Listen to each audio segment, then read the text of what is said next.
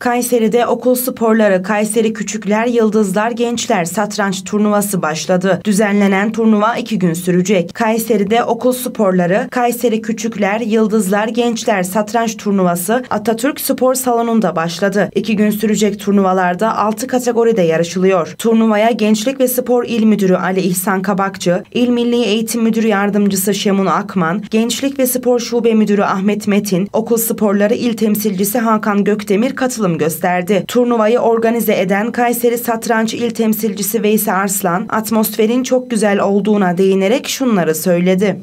E, turnuvamız e, küçükler, yıldızlar ve gençler kategorileri olmak üzere 6 kategoride kızlar ve erkekler aynı e, ayrı oynayacak şekilde 6 kategori üzerinden planlanmış.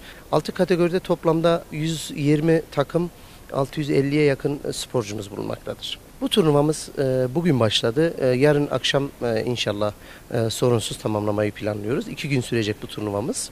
Bu turnuvanın ikinci aya yarı final olarak e, grup yarışmaları planlanacak. Devamında burada derece giren çocuklarımız öncelikle yarı final, orada da başarılı olmaları durumunda Türkiye finalinde yarışacaklardır.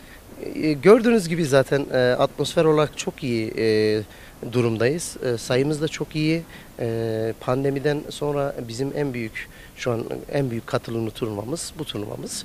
E, burada e, zaten okullarımız yarışıyor. Takım turnuvası şeklinde yarışıyor. E, zaten satrancın e, akademik anlamda sporcularımızı, çocuklarımızı iyi yere getirdiğini çok iyi biliyoruz. Burada da e, Gençlik Spor Bakanlığı, ilde de Gençlik Spor İl Müdürlüğü, İl Milli Eğitim Müdürlüğü ortaklaşa düzenlediğimiz okullar arası turnuvamız bu. İnşallah yarın e, tamamladığımızda bu e, turnuvamızın sonucunda başarılı olan sporcularımız e, yarı finalde de e, ilimizi en iyi şekilde e, e, temsil edeceklerdir.